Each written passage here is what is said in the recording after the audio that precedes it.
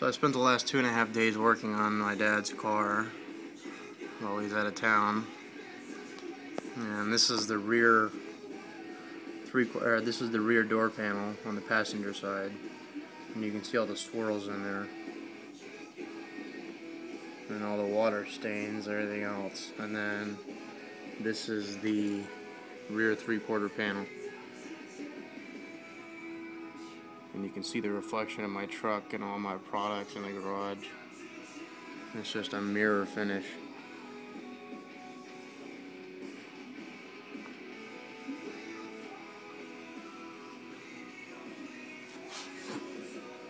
And there's the trunk lid.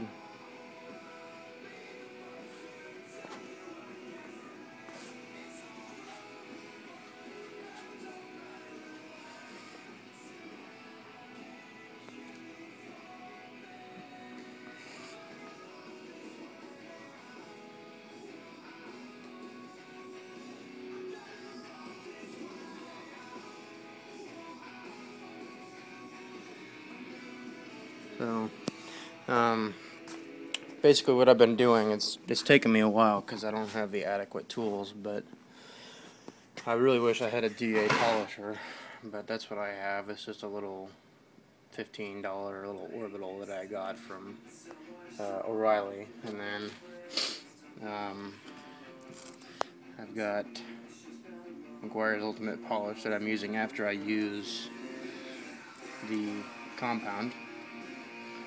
So I'll, I'll, compound a panel first, like I've done with this three-quarter panel. Wipe it off with a clean microfiber, like I have here. And then use the polish. Once that's all said and done, then I also have some gold class carnauba from them. And that's what's really giving it that deep, rich shine.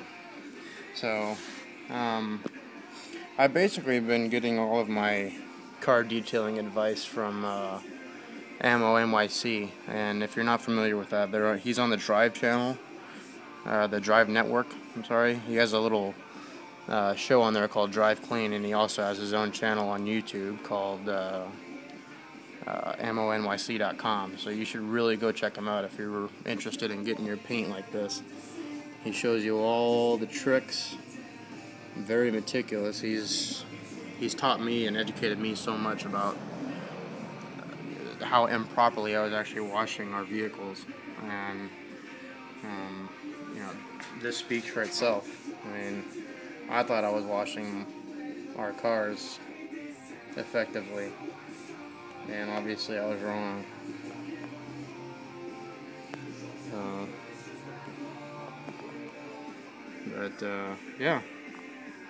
And then actually what I did, I forgot to say what I did before I started doing this, but um, the only instance that um, Larry at Ammo NYC he only he the only time he actually suggests that you use um, dishwashing uh, dish detergent is uh, when you're trying to strip the wax, which I just use a little bit of Dawn and I stripped all the wax off the car because there was layers and layers and layers and layers of wax on this thing. So, like this is completely stripped, and you can see all the swirls. I haven't even touched this yet.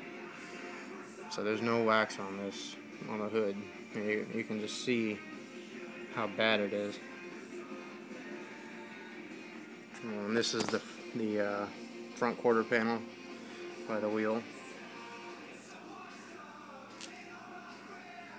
So hopefully it uh, starts to look like the back of the car. So,